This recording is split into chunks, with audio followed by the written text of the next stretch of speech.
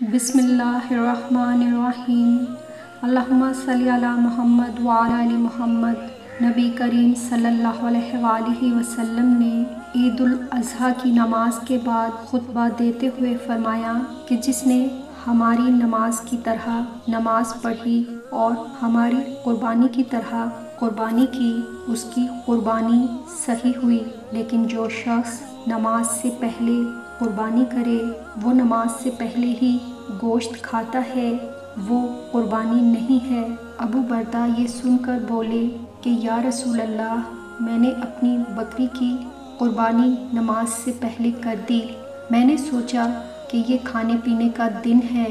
मेरी बकरी अगर घर का पहला ज़बीहा बने तो बहुत अच्छा हो। इस ख्याल से मैंने बकरी ज़िबा कर दी और नमाज़ से पहले ही इसका गोश्त भी खा लिया।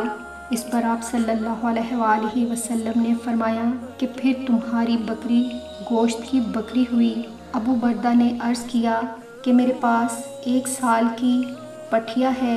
और वो मुझे गोश्त की दो बकरियों से भी अज़ीज़ है। क्या इससे मेरी कुर्बानी हो जाएगी? आप सल्लल्लाहु अलैहि वसल्लम ने फरमाया कि हाँ लेकिन तुम्हारे बाद किसी की कुर्बानी इस उम्र के बच्चे से काफ़ी ना होगी। मोहम्मद का उम्मती चैनल को सब्सक्राइब करें, वीडियो को लाइक और शेयर ज़रूर करें।